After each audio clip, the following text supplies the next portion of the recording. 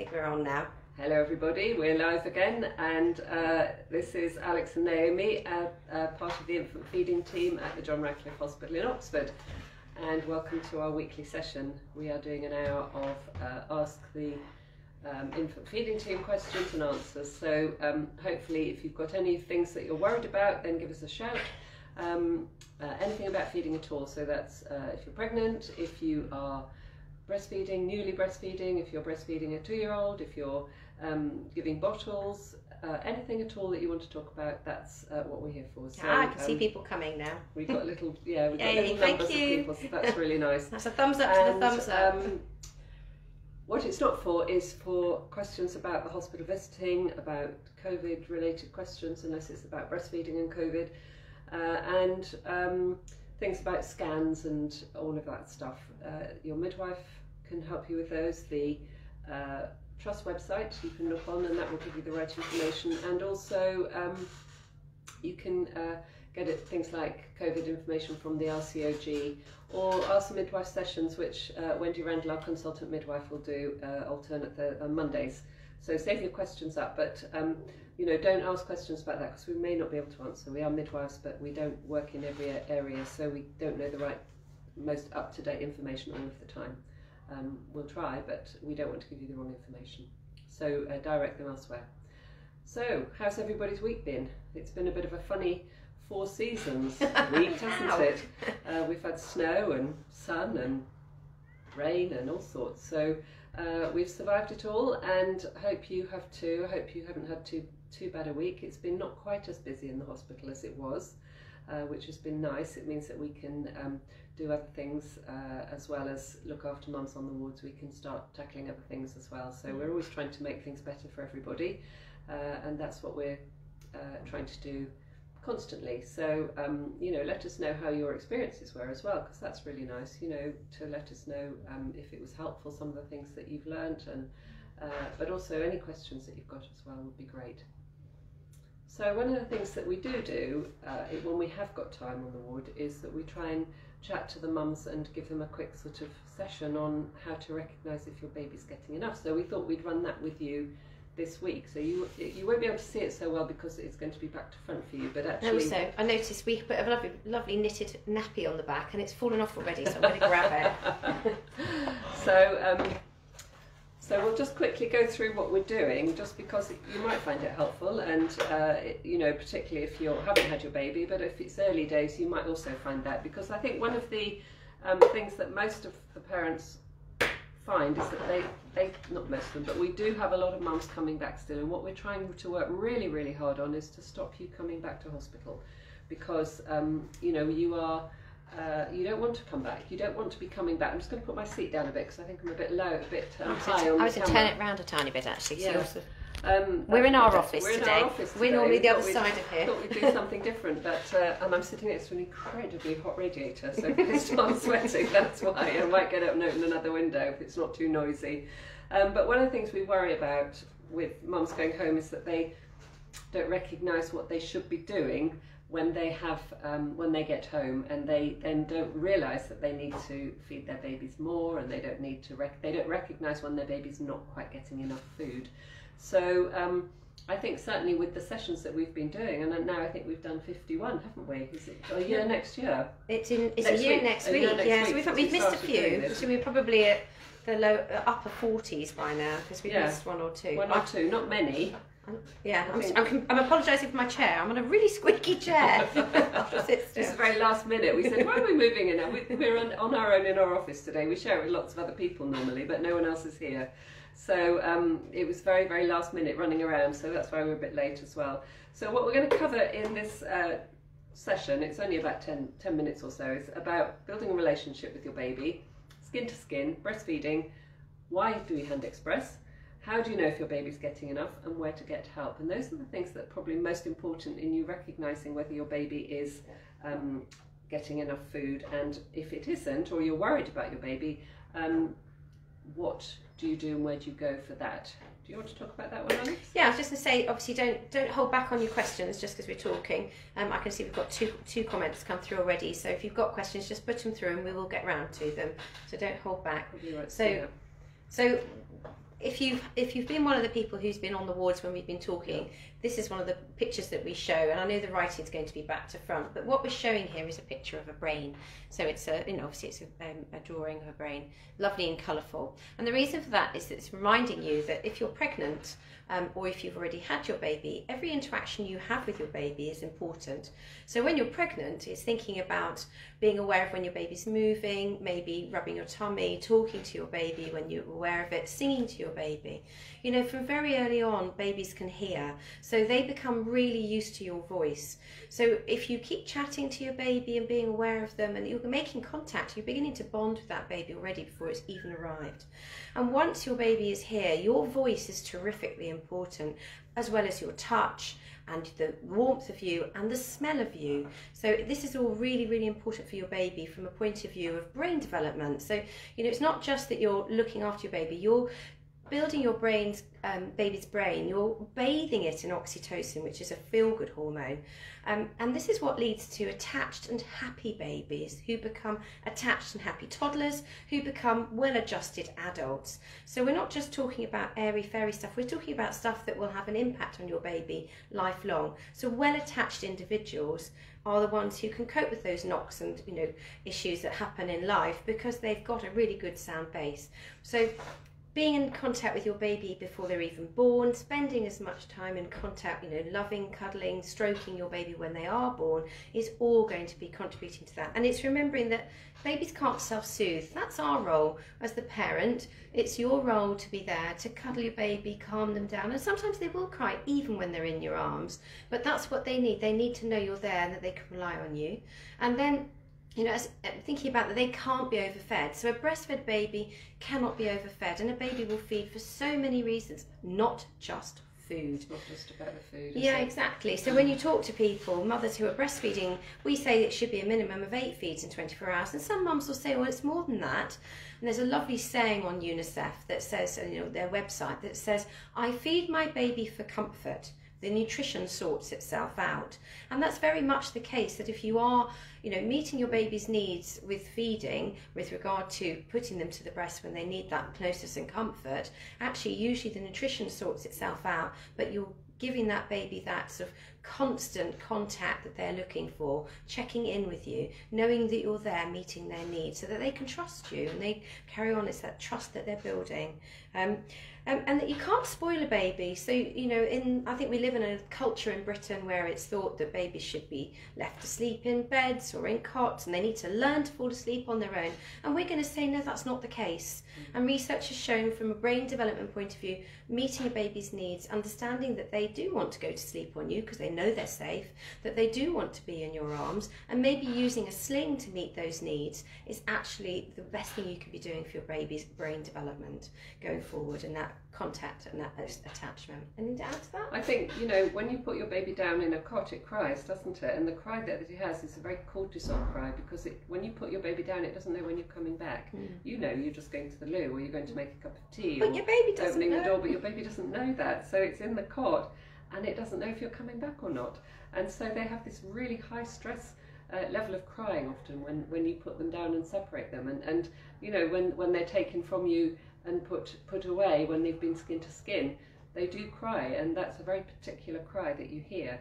So um, you will tune into your baby over the over the years, you know, and, and you'll recognise what they're saying, and they you know they don't manipulate you. They can't do that at this age. Their brain's not wired to do that, so they can't they can't make a rod for your back if you you won't make a rod for your back if you pick your baby up and spoil it. It's not going to manipulate you in any way at this stage. They haven't got the brain capacity to do they it. They can't do it. So it's just um, what they need. Keep them with you. It's where they expect mm. to be. Um, so a little bit about that then is the skin to skin, which is part of um, cuddling your baby, and the reasons we encourage you to do skin to skin is is for lots and lots of different things. But um, it's what partly it's where your baby expects to be. Well, nearly all of it is where your baby expects to be when it's been born. It, it wants to be by you. It wants to hear your heartbeat still because it's heard that all the way through your pregnancy, um, and so it recognises that with your breathing and your heartbeat and your smell that that's who you are. And so your baby is very driven by smell, and so it recognises. Um, who you are through that, but also it, it recognises the smell in the very early days. The amniotic fluid in, in the baby's hands when it's born um, smells like the nipples. So they know to crawl skin to skin to your breast to feed. That's the first thing they have um, survival instinct to crawl up and to suckle, and they follow that smell to your nipples, which smell the areola um, secrete in the um, little uh, little um, ducts around in your areola, not in your nipple. They they have like a particular sort of scent, and uh, they recognise that smell and they crawl towards it. So that's why we want babies skin to skin, and why we don't wash babies down when they've been um, born, so that they smell the same and they recognise all of those things we dry them off and make sure they're nice and warm and snug with you. But the, the uh, skin to skin that you get so that the um, you, you passing your body warmth to your baby will keep your baby warm. And if your baby's hot, uh, it will keep it cooler when it's uncomfortable as well. So it balances the temperature out very, very carefully. Um, and also it, um, it can uh, regulate breathing and it passes on your bacterial um, bacteria from your skin to its own body so that it learns to get um, protection from infections and things like that and it starts to it starts to um, socialize to external bacteria and external bugs and that's the starting process but not only that the skin to skin in the very early days is the thing that primes milk so it primes your milk production and also it um, will allow your baby to, to develop the health for the rest of its life. So it determines how healthy your baby's going to be for the rest of its life on how much you expose it to your bacteria and your skin and your um, your environment that you have will uh, predetermine your baby's health for life with, with good breastfeeding. So giving early breastfeeds, and, and it doesn't have to be if you're um, choosing not to breastfeed, it's still important that you do that so you pass that bacteria onto your baby to protect it lifelong. It's like having a bubble, isn't it? It's like Yeah. because you you and whoever you live with you, yeah, yeah. Um, slightly different bubble. Um, Yeah, but slightly. we- but you and mate and your partner will share the same skin flora because obviously you know at times you're skin to skin, um, and that's what's happening with your baby, and you're giving your baby the same skin flora. So my skin flora will be totally different to Naomi's, even though we spend lots of time together. Um, but uh, it will be different. So you know, it's thinking that your skin flora um, then pollinates your baby and protects Yeah. your baby from someone else's skin flora. So Yeah. you know, if you've had skin to skin and then maybe someone comes in to do a set of obs on your baby in the hospital, and that's when they're going to check their heart rate, for instance, and they touch your baby, well, they their the, their skin flora won't have a look in, even if they haven't they haven't got gloves on, because your baby's already already pollinated with your skin flora, which is what we want. And So also where we encourage little, you know, very few people handling your baby Yeah. in the early days because you just want the main carers in their life to be passing on the bacteria to Yeah. To their baby to protect them for life. Mm. And so, you know, don't hand them around. Don't get lots of different people to feed your baby. I don't think anyone's got a You chance know, to hand them around no, at the nice thought. and don't forget that it's much more than that. It does calm a baby. You know, Yeah. everybody loves skin to skin, and I say that all the time. That that's why everyone gets pregnant. We still like skin to skin as adults, so um, it doesn't ever go away. It's really important. So um, just think about that in the early days. You know that w- that's where your baby expects to be when it's born, and, and you keep doing it even after the early days. Oh yeah, Go to it as the first thing that you do if your baby hurts itself, if it you know falls over, if if you've got a toddler. You know they just love that comfort and skin to skin if they're poorly. So it's it's managing managing that for the rest of your life really with your baby. And you know everybody loves it. So um, it's not just for not just at the birth it's for it all the Mm. time and it's really really good for milk production If you go on a breastfeeding course, um, like we've done in the past, um, every answer will be correct if you say skin to skin. They want other answers too, but skin to skin is always the answer, the first answer that you can give yeah. to any breastfeeding problem. Is start with skin to skin and then move on. I'm just aware there are questions coming through, and we promise we will get through to them. I can see a bit of a theme on them today as well. So we do talk about positioning and attachment, but we'll probably talk about that as the day as the session goes on. So Yeah. we could we could have a little break now and do something, and then you know if somebody asks some positioning and attachment questions, we can uh, go through those and teach that as well Yeah. um, at the same time. If that's better, if they're all backing up. So I've had a few, and I can say they can see there's a bit of a theme coming. So Jessica's put here, she's got mastitis. She's been on antibiotics since Tuesday night. Her nipples very sore when feeding, and blistering on, on the openings. Is this normal? So I think this goes back to positioning attachment, just making sure what's going on, whether the blistering is mechanical or not. So is it something to do with how your baby's going to the breast, Jessica? And we know that mastitis, with sort of two forms of mastitis really. If you've got damage on the nipple, um, then it's possible to have an ascending infection, so an infection that comes through any damage on the nipple. If you hadn't had damage on the nipple previously, then it could be just what we call non infective mastitis. So that's mastitis where milk has gone out of the ductal system into the tissue around the ducts, and the body behaves as if it's an infection because it says, well, this milk shouldn't be here, it shouldn't be in this tissue because it should have been in the ducts. And the body behaves in exactly the same way, whether it's a bacterial infection or a non infective um, infection. So the question is really why have you got the damage? Is this to do, you know, is this contributed to the mastitis? So we, again, we would be looking at positioning and attachment just to make sure it's not a mechanical reason. And obviously the antibiotics are now going to help. They are very useful. They're really, really good anti-inflammatories um, and they will bring the inflammation down regardless of whether it's a bacterial or a non-infective mastitis. So that links into the pos- links position beautifully to making sure that you line your baby up in the first place in the right position. So it's about and we use these pictures a lot, but actually, you know, you're lining your baby up much further um, across underneath your breast than you think. So see where your baby's chin is. It's right underneath the breast there, and the nose is at the nipple, not the mouth at the nipple. So you want the baby much further around than you think you need to get it, so that you line your baby up in that position, so that when the head is free, which is where you should have your baby. Um, um, you should uh, then the baby should be allowed to lift their head back when they go onto the breast. So starting there, you can see, yeah. So yeah, and then they tip their head back. So then they tip their head back and they look like that. So you've gone from lining your baby up perfectly on the breast there, and then your baby's head is tipping back, and they do that naturally. They need to extend their head back. Think about when you have a glass of water you extend your head back to do it.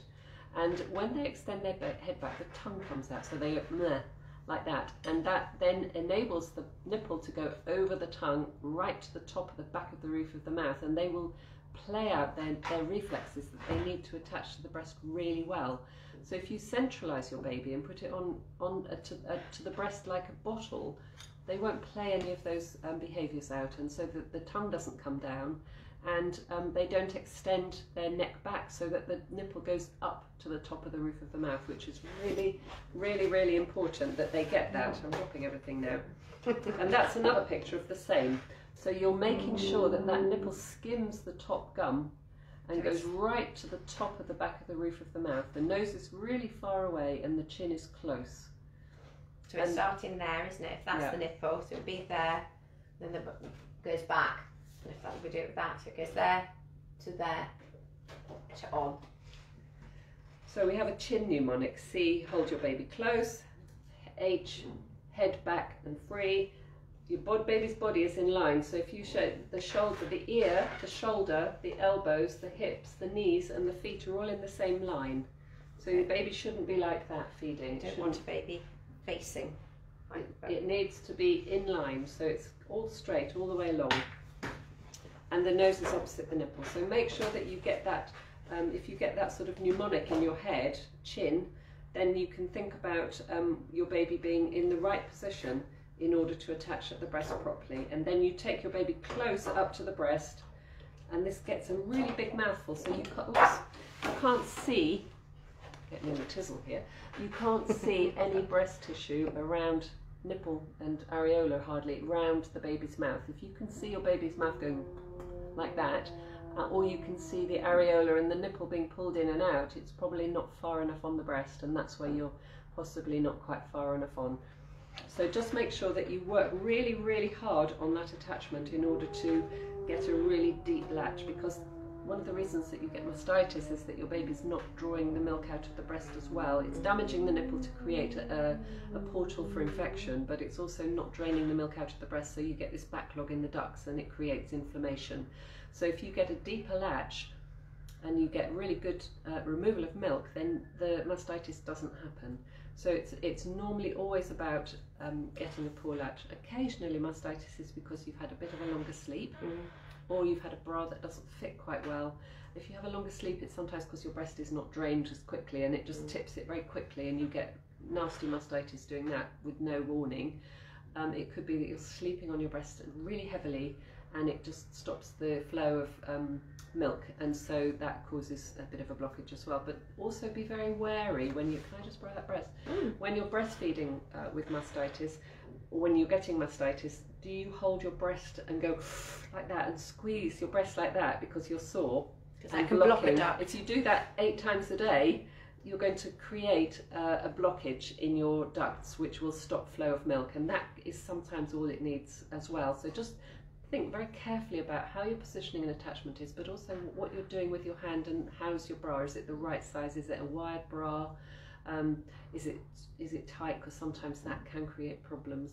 And has your baby missed a feed that it's just slept a bit longer because that sometimes happens as well.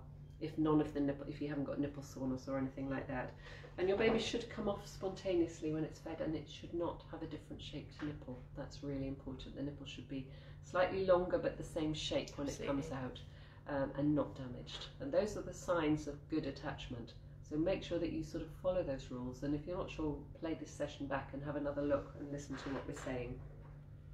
I hope that helps you with that. Yeah, good luck, Jessica. It's not It's much. not it's nice. it's You feel really Absolutely nice. terrible with mastitis. You feel like you've been run over by a bus, I know. Um, Charlotte's come on. She's our frequent flyer points lady with her daughter Alicia. Says that Alicia is waving at the screen, so we'll wave, wave at Yay, Alicia. hello, Alicia. She's got more teeth coming, um, and she's getting better at eating chunky food. Well done, her. Uh, I think she's going to be our talisman because she's been going, going. keeping us, yeah. Um,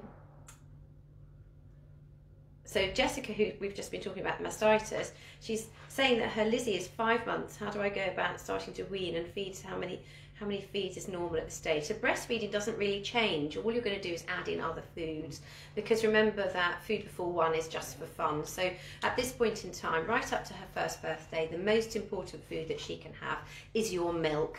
Um, so sorry, that's our bleep going off. Can't Put it stop in the door so you couldn't hear it. it didn't Um, work. So the most important thing is still going to be milk, um, right up to the age of one. Um, so as a result, um, you know what you're wanting to do is just try her with other foods. It's just learning about complementary foods. I would suggest that you go and have a look at um, first steps in nutrition because they do a whole section on complementary foods, not only foods that you can buy but foods that you can make, um, and talking about it on there. So it's a really, really good website. We use it for anything to do with formula milks as well because it's a very good resource. It's evidence based, um, non biased. It's an extremely fabulous resource. So, first steps nutrition, literally as it sounds. If you do a search for that, it comes up with a pear. Uh, the the lo- logo is a pear. Um, have a look on that.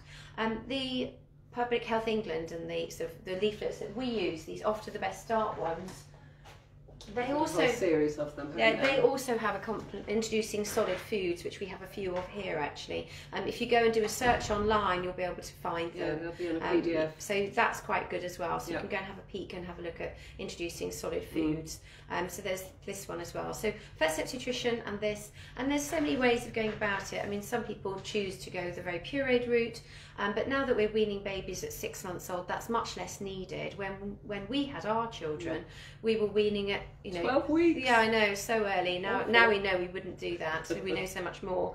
But now because babies are weaning at you know going on to solid foods at Mm. six months, they can cope with those lumpier, bumpier foods. You know, they don't need purees. They can cope with finger feedings. There's lots of stuff out there about finger feeding and you know sort of doing it like that. So baby led weaning. So there's lots out there for you. You and don't that's where have to do it on a certain date. No. You know, you've got to look at your baby. If it's not quite ready to do it at six months, you can leave it a tiny little bit longer. You can try it and go back to it. Um, you know, it's around about six months, but you know, we do encourage exclusivity up to that time because we know that babies don't have things like digestive um, enzymes in their Mm. tummy until then, so they can't digest food well until about six months old. When Well, we were giving our babies baby rice at the age of three months, and now we've Yeah. we've both learned that they don't have any amylase in their tummies. They can't you've been able they can't actually digest can't actually digest it. So it just filled their tummies with something they couldn't digest. So Yeah. you know it's you know Yeah. it's it, we certainly have learned a lot more about it these days. We're much better about it. But, um, so see how you get on with that. And as, as Naomi says, there's no time scale on it. There's no hurry. So, um, so quite exciting though to go on. And make sure you put a rainbow of colours down so Yeah. that they get used to lots of different colours and textures. You know, Mm. nothing, nothing bland, nothing beige to eat, because you know they want to be stimulated Mm. visually as well as um, sensory wise, taste wise. So um, make it as exciting as you can. And we're going into a fantastic time of year with lots of lovely things available to eat. So um, you know, it's a nice time to start weaning a baby in the next month or two, isn't it? Lovely. Uh, moving on to Agnieszka, she says, Hello, first want to thank you for all your support. I'd like to ask you ladies about how to start to use a bottle. I'm breastfeeding my six week old girl. She's healthy and feed, feeling, feeding perfectly, but I'm, at some point I'll need my partner to feed her too. Um, I got, let me move down so I can see it all, breast pump, but don't know where to start. What's the rules? No rules, that's a starting point. No rules at all. So it's thinking about you might find that expressing after your first feed of the morning is a good time to express because that's when most mothers have more milk than they need. Um, later in the day, it tends to get a little bit more difficult to get milk off, so you might want to start thinking about expressing at that time in the morning, which is a good time. Were you going to do? I was just going to do some responsive bottle feeding, so, you know, because uh, remember, if you haven't done this, your baby may not be very happy about it. So it, it might be, you know, minimise the number of people that give a bottle, but if your partner is going to be the one that does it, then perhaps they should be the one that does it the first time you do it as well. Just because they won't, the baby won't smell your milk, and um, you won't be quite so stressed if you're worried about doing it. A lot of people get very stressed because they have to go back to work and they've never given anything other than the breast, and so it's quite, you know, it is quite difficult. But um, hold your baby close, um, and um, make sure that they're sitting slightly upright but close to you. Um, and then um, try a few different teats. You, you know, your baby will be very different. And, it, and if you used a bottle at the very beginning, it might be that it's the wrong teat for your baby now. So um, slide, I'm going to sneeze. right, mid chat, going to sneeze.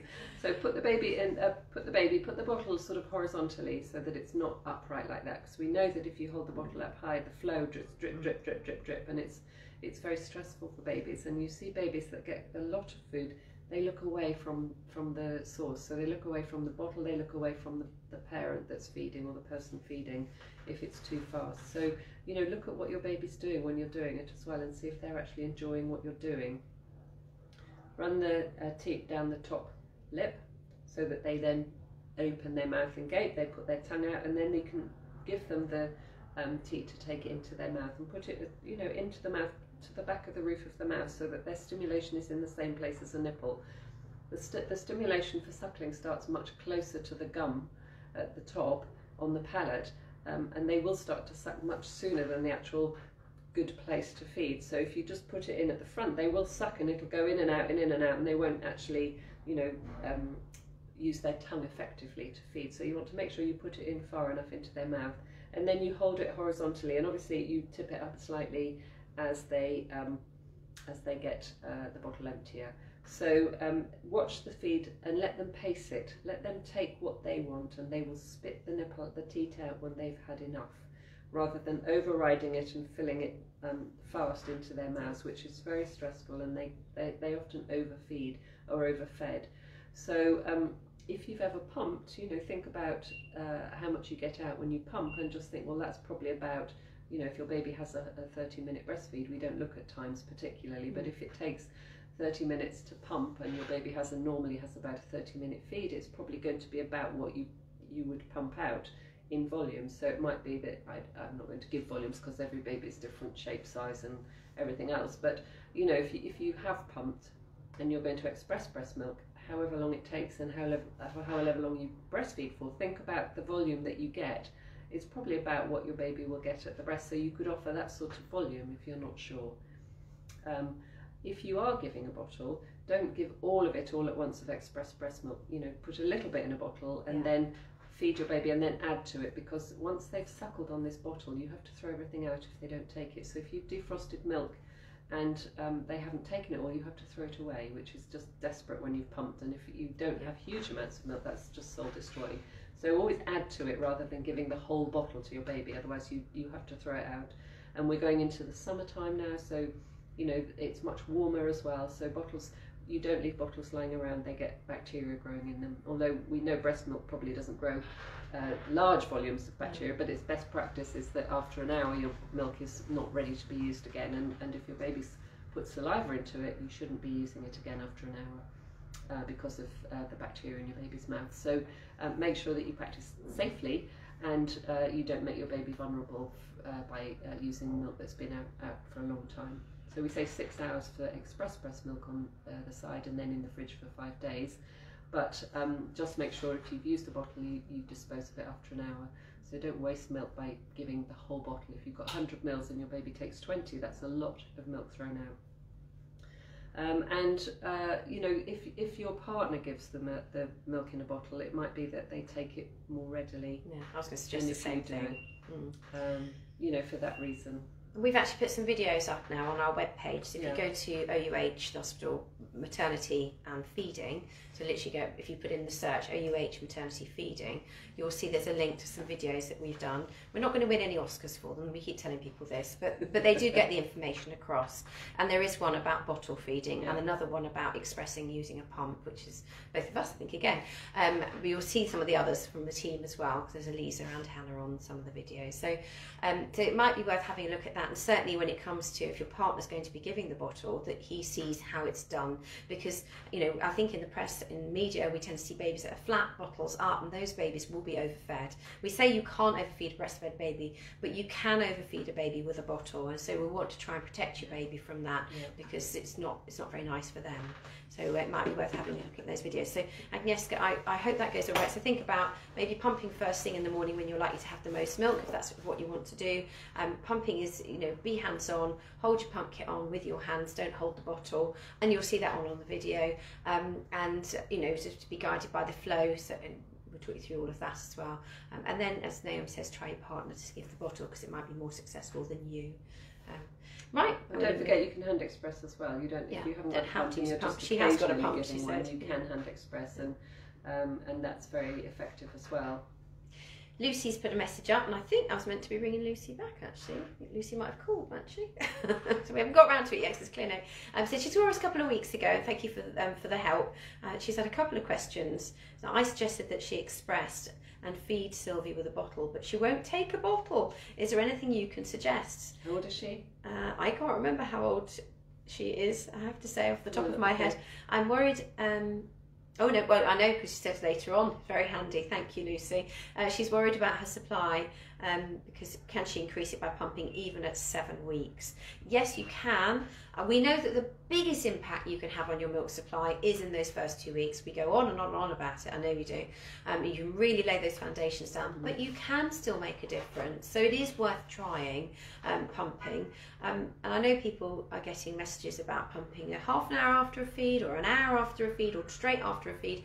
I think the thing is to think sometime after the feed and not too close to the next feed, yeah. but not be too strict. Because I know some women, women say, oh, I can't wait half an hour because I've got other things to do, or an hour after is too difficult. So if it suits you to do it straight after the feed, just do it straight after the feed.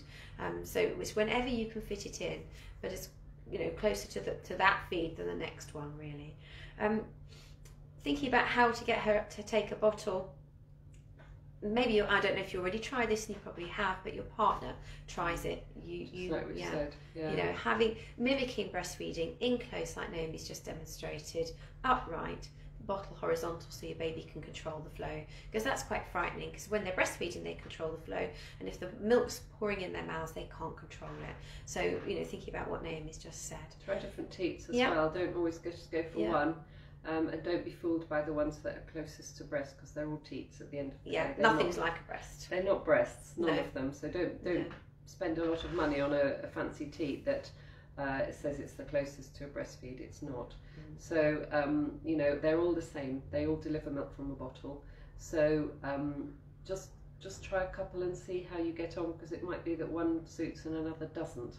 Uh, and remember that they do take a couple of feeds to learn how to manage the teat in their mouth. It's a very different action to a breast.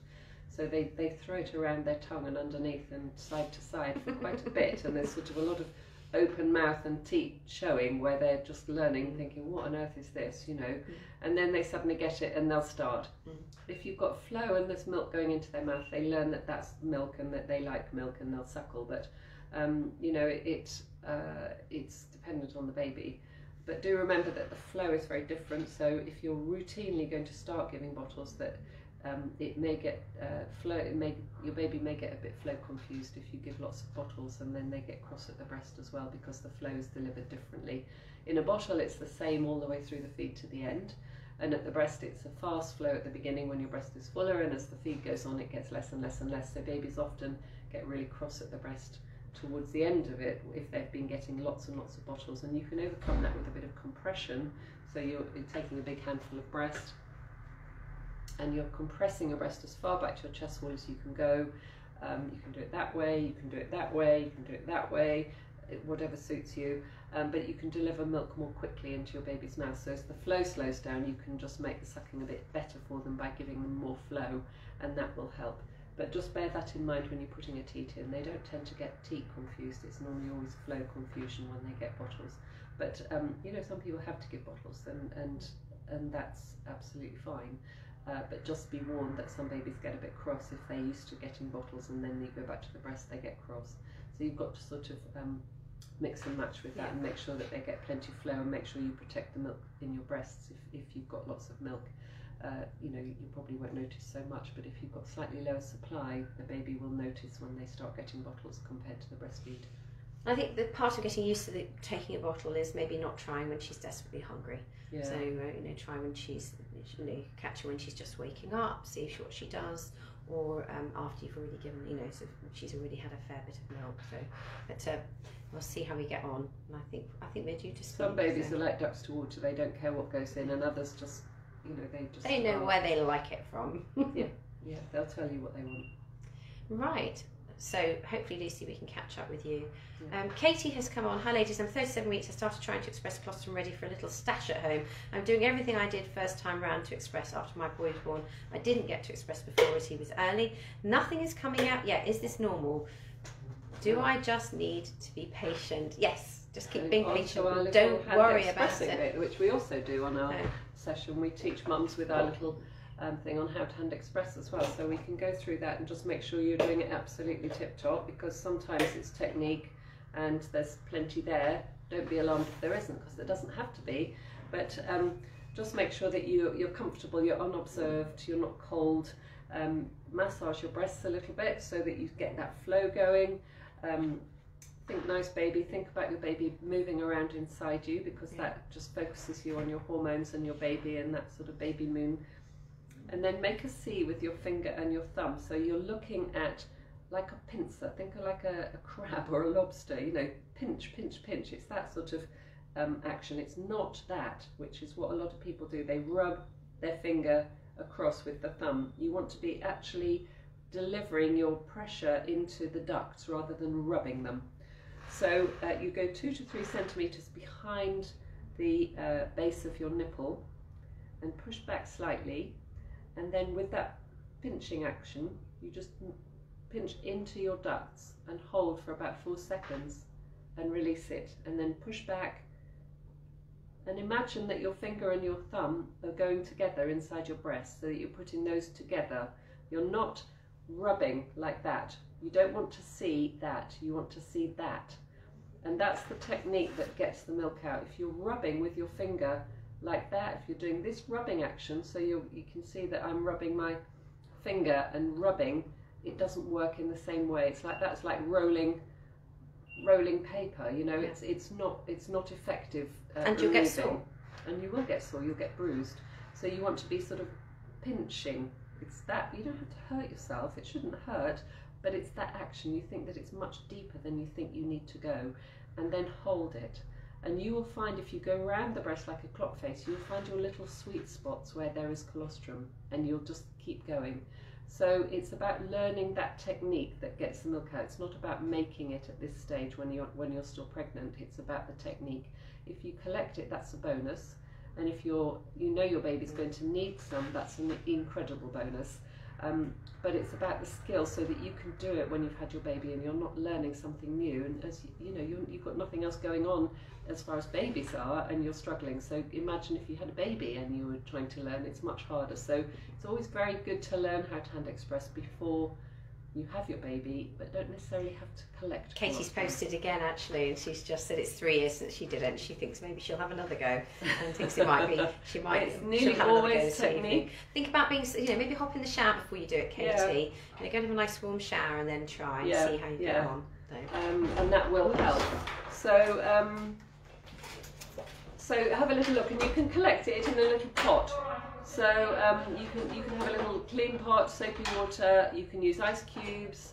Uh, you can uh, have a teaspoon to collect it on. You don't need to have syringes, but you can get one mil syringes from your uh, midwives when you see them, and they can give you some to collect as well. So um, have a go, see how you get on, and if you're not sure, go back to your midwives when you go to the next uh, appointment and ask them to check that you're doing okay.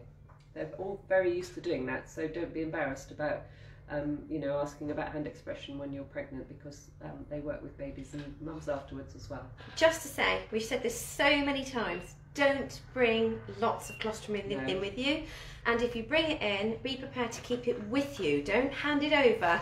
Bring it in a cool box with um, ice blocks because we've had another incident this week of it being put in a fridge. And the problem is, when you, if you go through the system here, you're going to meet lots of different people, and someone will put it in a freezer, and that message doesn't get put over where it went. So hang on to it. Bring it in a cool box. Bring, don't bring very much. You might have to get your partner or a family member to go and get more if you need it. But just bring in barest minimum and try and keep it frozen because it um, we just can't keep track of it. It's just And too express when you're in labour, I always say. So Yeah. do it while you're waiting to have your baby. In the early stages, you'll get lots out because there's hormones flying everywhere, Mm. um, and you know it might just tip you into longer, you know, Yeah. quicker labour. Because if you're Uh, coming in, you're thinking about you're coming in for an induction, you'll be on level six, and then when you go down to have your baby, you're going to be on level two, and then you might be on level two on the delivery suite, and you might have to go to observation area, so that's another area, and then you'll end up on level five, which is a postnatal ward, and this is why we Four different areas. this is why we lose it and, and shift changes and things. So so please hang on to your milk keep it in a cool bag with ice blocks. It will be fine for a good few hours. It only needs to be used within 24 hours of being de- uh, sorry 12 hours of being defrosted. So you know So if you think yeah. your labour's not progressing, you know, send it home, yeah and they can always come back with it. Yeah. But it's probably better not even. or to get someone to write down where they've put it so everybody knows Yeah. where it is But um, you know, it's much safer in your own home than coming in. So get them to bring it back when you've had your baby and do some hand expressing in labour, and you can keep that for 24 hours. Uh, and that hopefully will see you through to the early days, and, and then your partner can get, Yeah. collect some more and bring it in uh, the next time they come. We've tried to address it and it, we just can't make a difference so There's too many people here in too many different places, so um, it's human error. Yeah. Right. Okay, so we got another message. Um, Sarah's come on and she said she's got mastitis. She's struggling to feed her baby. What should I do? I've seen the GP, but I'm currently struggling with a pain when feeding. It- It's keeping that milk moving. Uh, I don't know if your GP's given you some antibiotics, which they may have done.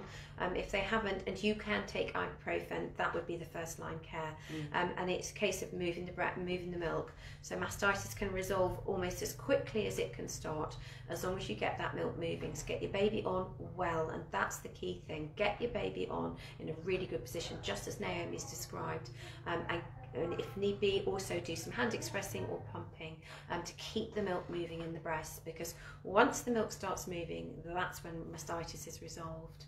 So I think we've covered quite a lot about. It. I said there was a theme. I'd seen there's a few couple about mastitis. So Sarah, see how you get on, um, and you can always call us for some support too. Um, we can talk you through it. Regular, regular ibuprofen, even Yeah. if you don't feel you need it, you don't feel feverish or sore. It will bring that three times down. a day, 400 milligrams three times a day, and take it for a good few days. Don't just stop if you sud- suddenly feel better because it's like it's like an anti-inflammatory. Even when you're not feeling unwell, it helps to clear those ducts. And um, you know, pump, pump, pump as well. If you, if your baby's not feeding, quite often you get it when your baby's just fed, and uh, it hits you, and your baby's not hungry. So you know, have have a way of getting the milk out of your breast to drain it, because that sometimes takes the symptoms away. And if it comes back with a fever again, it's probably infected. If it goes, if your breast fills up uh, and you don't get a fever back, it's probably non-infective mastitis. But um, you know, it, it is just draining, as Alex said. It's taking everything away so that um, the inflammation is removed, or the thing that's causing the inflammation is removed. Right, going to move on to Samantha. She said she came to see us with her little Elizabeth, and she's now seven weeks. Um, is particularly unsettled, has lots of hiccups and sick lots too. Sometimes straight after feeds, sometimes later, 20 to 30 minutes, and it's curdled then too. She also feeds a lot, and a lot is in capitals. Spends most of the day um, attached. Is there something I can do to help? So, um, is it effective feeding that you're doing, and do you have lots of milk? I can't remember, Sam, whether you had lots and lots of milk or not. Um, and um, you know, is is it just if the feed's very quick and then they get really full and then a bit windy and then they burp and what what they bring up um, that's on top of that wind will come up with the feed. So they just bring up whatever's on top of that wind. Um, so if they burp immediately after feed and they vomit a little bit, so it, I mean, milk goes a long way. So when you see it come out, it looks like it's the whole feed, but it's very unlikely to be the whole feed. Um, but it, and it does make a mess. But it's often just whatever is on top of that wind that they bring up. And obviously, if it's curdled, then it's digested milk by the time it comes up. So it's just a bit thicker and a bit changed. But um, you know, babies don't have a valve on their tummy, so the, the base of their um, uh, or the top of their tummy, it doesn't close like it does for us. So when um, you know when babies burp, they just anything that's in in the way will come up with it. Yeah. And that means if you pull your baby's feet up to change its nappy after a feed, milk will come out of its Yeah. mouth. And just the same, you know, they do that. Or you tip, you know, you tip them over sideways. It, it does come out their mouth because there's nothing to stop it coming out of their tummy, um, and that resolves as they get a bit older. But they, you know, so babies that are very sicky and they're crawling around, it's because they, you know, haven't got that um, control when they they get. Um, some babies do it more than others, but it, it's not abnormal unless your baby's unwell or it's not reaching its milestones. So is it peeing and pooing appropriately? Is it gaining its milestones in the weight on the centiles? Um, you know, so is there anything that's worrying you about that? I mean, for us, it doesn't sound alarming. It sounds like a normal baby, and it may be that your baby's just a bit of a piggy and, and is really guzzling, you know, and enjoying the milk. And that sometimes happens if Oh, you've got lots of milk and they just really guzzle. Um, it it sounds normal. Um, What Yeah. was the other question you said about? So talk about it being curdled. Is there anything Yeah. else you can do to help? I think, and and, and, and we would always say, and I know Your that you. upright for a bit. Yeah, but it, you know, it's also just thinking, Sa- Samantha. You know, I know you've been to see us, but you know, it's just re- revisiting positioning and attachment. And one of the things we find as the babies get older, and I had this conversation in clinic this morning, is we need to allow for those babies to get older. So you might start. We've got two. Have we got a small one and a big one? Have we got a little and a big baby? No, No, we've we got a little baby. So, so if you think about how you're holding the little baby, they're going to be sort of just bang slap in front of you. And as the baby gets bigger, they've got to come round you. The Mm. head is going to stay in exactly the same place.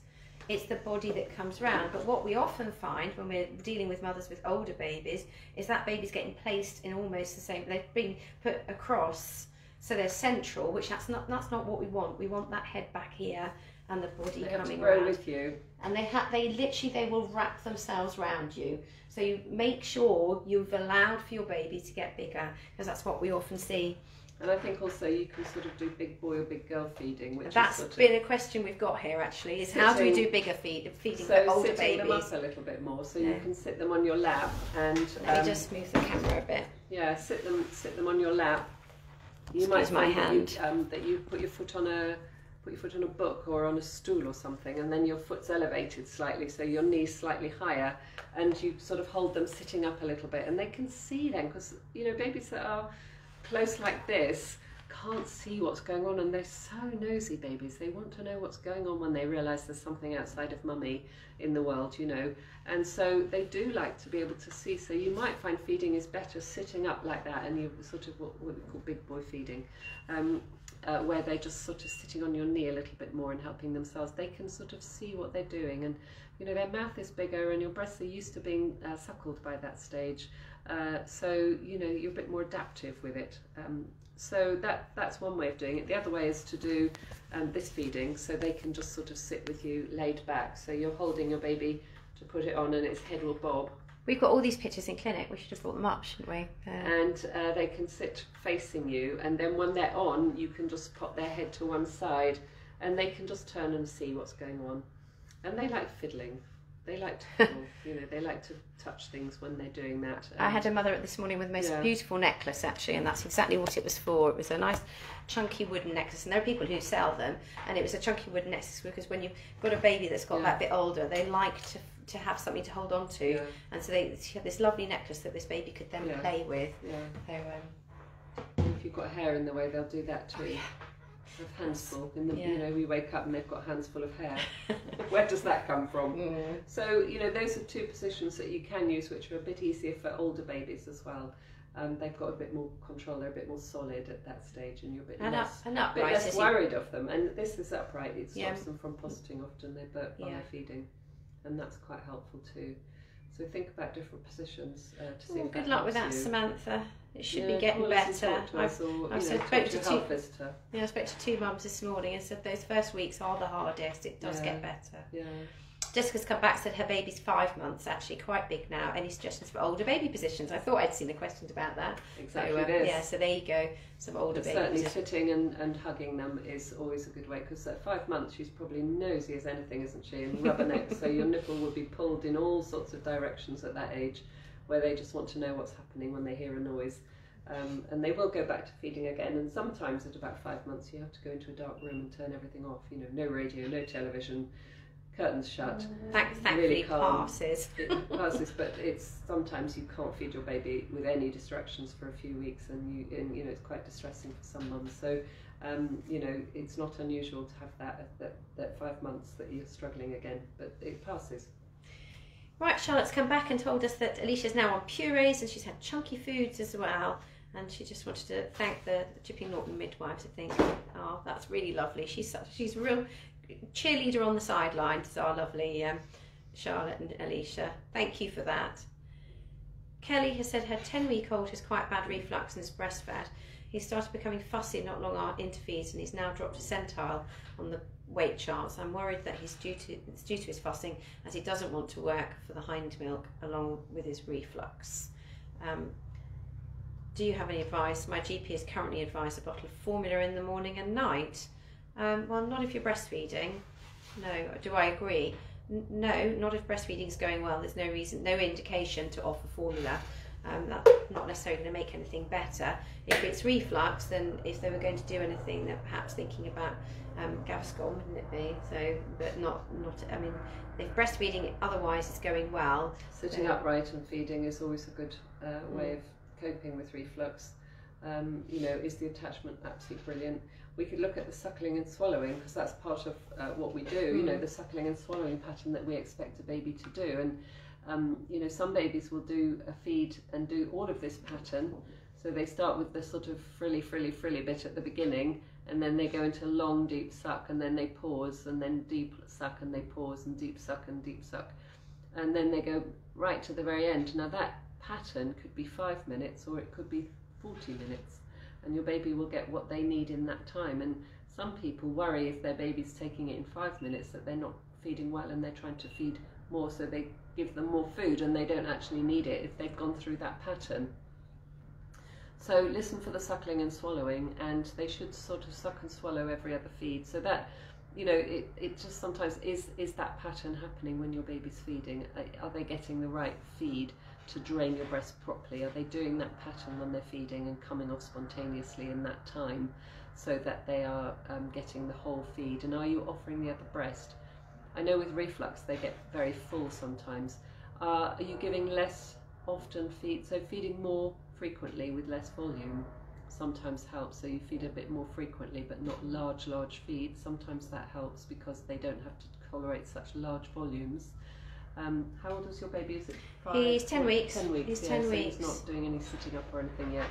Um, I mean, obviously the GP is suggesting formula because of the weight gain, um, but but you need to look at that pattern. If, if they're drawing the milk and getting the hind milk, that's the important thing.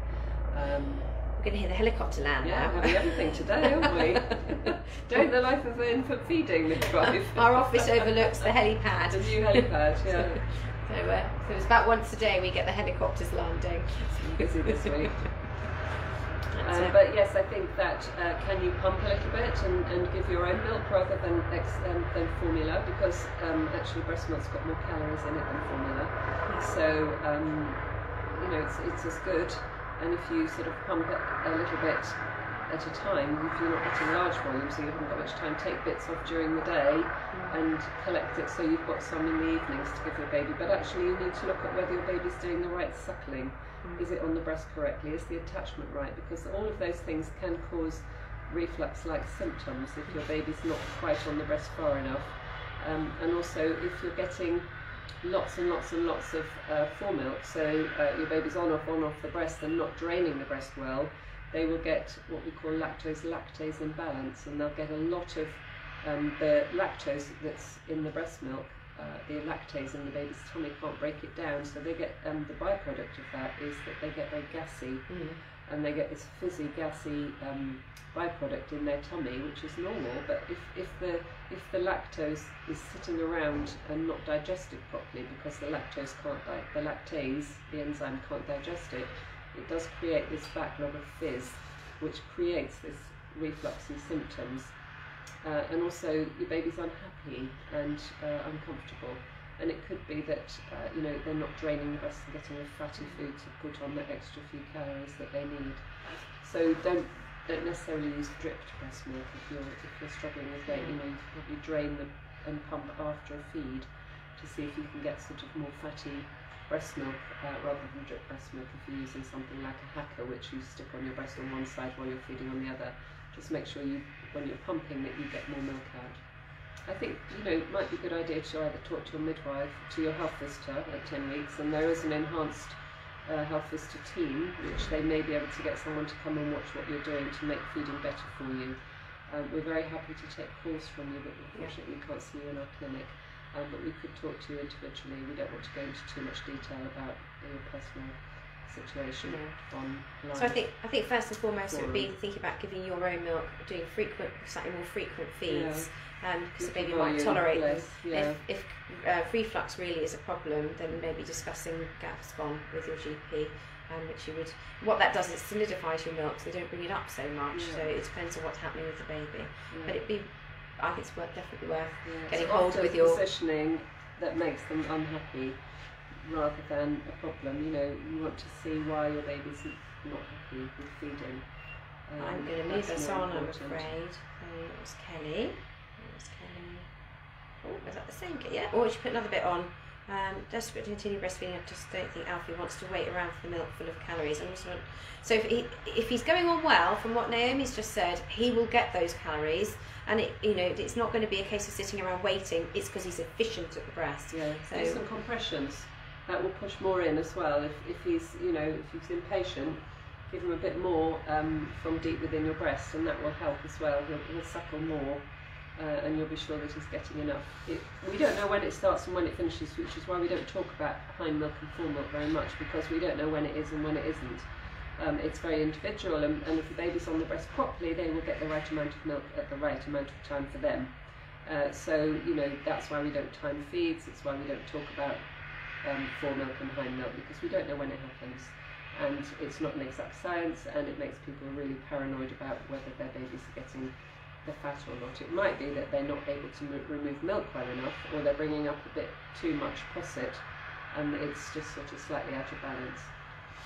But it might be worth talking to the enhanced health visitor practitioner to see if they can support you. So ask your health visitor about it, and she can put you in touch with the one, the health visitors that support with breastfeeding in their in their um, group of, of health visitors, and they can perhaps see you and get to the bottom of why you're struggling. So Kelly, and, and she said that she's giving, she has been giving bottles of express milk. So she wonders if the baby's got used to a faster flow from the bottle. Um, but this is all stuff that, that you can be supported with. Yeah. And if your baby's unwell, you can use compressions as well to increase the flow at the breast. Things and babies love to be breastfed. As mentioned earlier, there's much more than just food transfer. So you know, it, it- don't you know, don't underestimate what an amazing job you're doing. It's fantastic, and, and keep going as best you can. And also look at their stools. So look at their nappies. You know, they have their changing stools. So you know, early days we're talking about here as well. But you know, babies that are getting milk beyond day four, they should have yellow poos until they're six weeks old every day, at least two. And then after that, they poo a bit less often. But they should still be nice yellow seedy poos, even if they don't poo every day. They should be nice and seedy. But if your baby's in the early days, and we're looking at the pooing, it's the same. You're looking at what's coming out as much as what's going in, and if it's not coming out, it's probably not enough going in either. So it's really important to keep an eye on everything that your baby's doing. Is it doing enough wheeze? So, you know, early days it should be peeing on day one, one pee, day two, two, etc. Up to day five, it should be doing about six to eight by then um, in 24 hours. So make sure that you're looking at what your baby's doing, and if it's not doing those things, it's not got a changed stool by day four, if it's still black poo on day four, or if it's not pooed on day three at all, and you're now on day four and haven't seen one, please phone someone and tell them that they haven't pooed and you want to be seen because they will have Start- lost weight Start by day hand five. expressing. We've had quite a run of babies coming back in with quite big weight losses, and if you know that your baby should have a yellow poo on day four, um, then you're less likely to come back in again. So those of you that are expecting babies, please, please lodge it in your brain. Your baby needs. I don't want to bother anyone because it's a much It's more really bother for you if you important. need to come back into You're back in, you're back in for 48 hours, and that's not what you want. It's No. much better that you call someone up and say, My baby hasn't got yellow stools, or my baby hasn't had a poo, because breastfed babies do not get constipated. If they're not, if they're not pooing, they haven't had enough milk. It's as simple as that. So if that's the situation that you find yourself in, call the midwives and get more help and start expressing straight away. Um, And don't let any of them say to you that it's normal that babies don't poo every day because they do. Early days babies should be pooing every day. So if there's no poo between day two and four, you should be really, really on that phone Mm. first thing on the fourth day morning and getting someone to watch you breastfeed. And you know, if there's no poo on day three, you should be thinking about pumping at home, being you know sort of proactive yourself or hand expressing and getting access to a pump and talking to your midwife about getting a pump so you can see what's going on and, and have extra food for your baby so that you can just put those sandbags out before the tsunami. You know, Yeah, just stop the flood before it happens. So keep your milk supply going. Get your baby. Keep your baby feeding. You I'm gonna move got us to on. it. Because it's half past, it's gone half past three. Oh dear. Uh, so Rose has said she suffered from really low supply with her daughter in 2019 and had a terrible, very short breastfeeding journey. I'm sad I didn't know about the infant feeding team back then. We're sad you didn't know about us because we were here too. Um, and I've contacted you this time at 36 weeks and been advised to express colostrum, which I can't believe I've managed to do. Well done. See, you've It's- got the skill. Yeah, it's very pale in colour and almost runny. Good. Is this still going to be as beneficial for my baby compared to brighter yellow colostrum? It's absolutely irrelevant what it looks like. There is such a spectrum of colours, and very often when mums, and you may have noticed, are expressing from the nipple, there are about nine nipple pores where the milk will come out. It can be different colours from different Mm. Sometimes it pores. can be orange in one Yeah. and white in another no, no, and clear in another. So don't worry, whatever you're producing is totally and utterly perfect for your baby. It is tailor made, yeah, bespoke for your baby. We do not rate your colostrum by the colour of it at all. It sounds fantastic and well done you. And I'll Mm. feed that back to Hannah because I suspect you had a conversation with Hannah on the phone because she's doing all our antenatal calls at the moment. So, uh, Fantastic so work. absolutely brilliant. Well done you. Mm. Um, so yes, cherish that colostrum. Don't bring it all in. Don't bring it all in. So uh, That's keep, your take home message today. That's it. yeah, please don't bring it all in. Um, so good luck with that. Well done, Rose. Right, put a bit more. She's nearly 41 weeks. Well, you'll be having that baby Mm, soon. Get expressing. It might get you in the right direction. Yeah, fantastic. Sarah came back and said thank you for our messages earlier. Um, Samantha said that she was initially worried about milk supply. She seems re- gaining really well, burps really well, and it isn't always when she burps. She's only, only poos every three to four days. Ah, but she's 10 weeks, so we're not worried Over about six that. weeks, we don't, worry. Don't worry. worry, that's normal. Yeah. Very, very normal. Yeah. After six weeks, babies really slow down on the pooing, um, so that's really don't- normal. Leanne has come on. I spent a lot of time with Leanne last week. Um, she said, "Hi, ladies. Lyra has started putting weight on steadily. Yay! Yay. And she's also spending a lot longer at the breast and is much more content after a breastfeed. I'm still following the feeding plan, and she's getting a 50 ml top up. Our three hourly feeds are still taking a long time, but things are going in the right direction. My oops, oops, I've got a screw, shooting up. My Ardo pump was delivered today, so we'll be using that from now on. I'd like to attend one of your clinics. How can I book? Um, how can I book on? Give us a shout. Email or um, Yeah. telephone, Yeah, and um, self refer. yeah, just give us Leave a message on the answer phone or email us, and we'll you know We'll get tell you us in. what time is a good time to call you. Yeah. So um, that's fantastic because it was only this time last week I was spending all this time with you. In fact, it was Friday, I think. And everyone can self refer. We triage you, so some some of you don't need to see us if we triage and talk to you. Um, and actually, it's it's very important that you know where to get help. And the, the, the first first place that you go to for help is your midwife, and that that's that's in the early days. Your midwife will support you and breastfeed, uh, give you breastfeeding support. And if she's not offering it, ask for it. Um, you know, make sure you go to your appointments with a hungry baby. So you need to, to feed your baby when you're with them at the appointment. Uh, and also things like um, Oxfordshire Breastfeeding Support, they're in the background as well. They are very busy because they're not live face to face at the moment, they're just doing Zoom, and they're also specialist uh, uh, lactation consultants, uh, so they're very experienced. And La Leche League is also incredibly supportive uh, and doing telephone consultations, baby cafes, and also your health visitor is, you know, that's the next level from your um, midwife. Uh, so that you, you know, we see mums up to six weeks in our clinic, and then after that, the health visitors take over. So I think so. a thing to say about that is that if you are struggling with feeding and you know you've got an appointment with the midwives, I would ring them in advance and say, please can you make time to give me a help with feeding? So because i know that a lot of appointments are taking place in units rather than coming to you. Um, so just give them the heads up because you know if they don't know that you're having problems they won't know to allow you the time. So make sure you tell them in advance so that they give you the time to help with feeding. their appointment to yeah. suit you so, you know, because that's what they are there to do it. Yeah. And, you know, our colleagues are really keen to help you breastfeed and to realise what your goals, what, you know, what yeah. goals you've set yourself. So they want you to succeed as well. So just, you know, make sure that you give them a heads up. So if you're turning up for a, a five day appointment and it's a heel prick and a, maybe a, you know, if you've had a section, you're having a stitch removed, give them a heads up, tell them in advance, phone them in the morning and go, by the way, I really need help with feeding today. Um, and let's see what they can do for you. They will move heaven and earth to try and help you as best they can. So, um, right, I've seen lots of stuff coming as a flurry at the end here. so, Charlotte's come back. So she's trying really hard to do tummy time with Alicia and tempt her to crawl. we had this conversation the other day. Charlotte's trying to get her daughter to move on to the keep next stage. keep her on her tummy. you don't want her to move. Oh, she's uh, she's talking about her teething and waking. So, oh, it's lovely. Kelly's come back. Thank you so much, ladies. And Lucy has come back.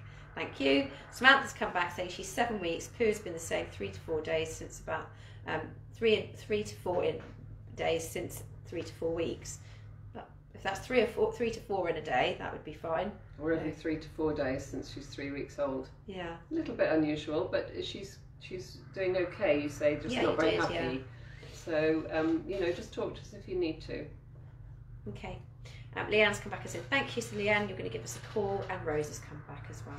So I think we're there.